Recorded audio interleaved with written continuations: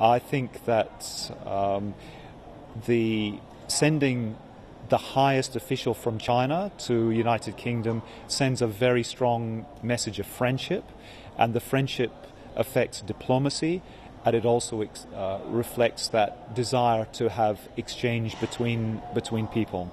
So I think that yes, it will be the start of uh, tourism growth. Uh, I think the UK and Europe are very attractive destinations to Chinese people.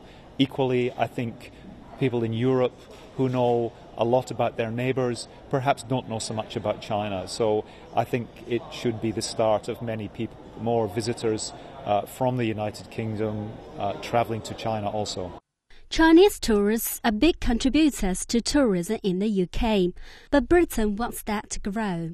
British Prime Minister David Cameron announced on Wednesday that tourism visas for visitors to Britain from China are to be valid for two years from 2016. And a new 10 year multiple entry visa is also to be made available to Chinese tourists.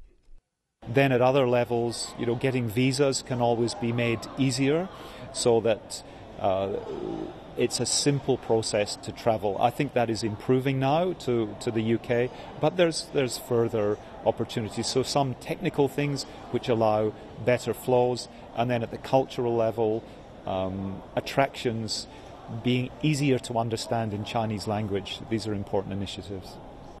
Currently, Chinese visitors can get a six-month tourist visa.